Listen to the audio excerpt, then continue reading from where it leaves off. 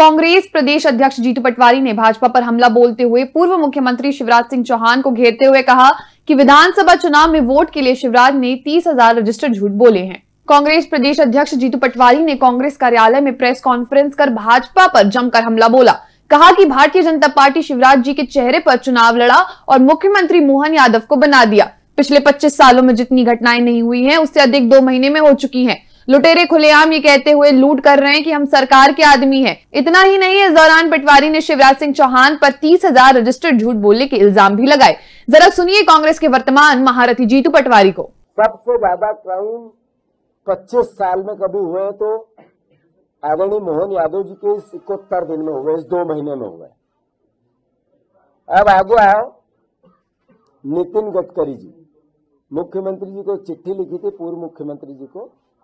कि आपके टोल बॉर्डरों पे अद्भुत करप्शन है।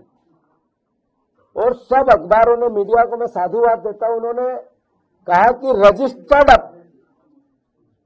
टोल की लूट को नितिन गडकरी जी ने पर्दाफाश किया था उसका।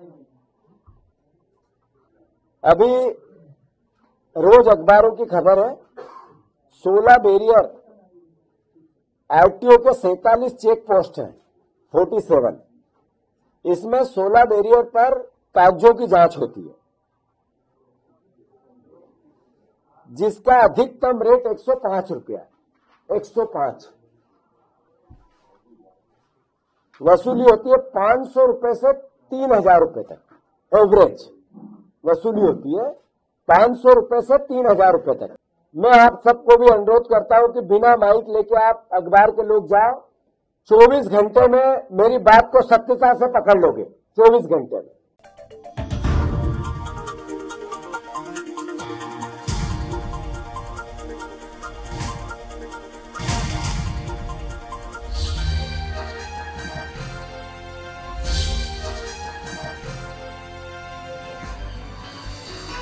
आप देख रहे हैं दखल न्यूज़।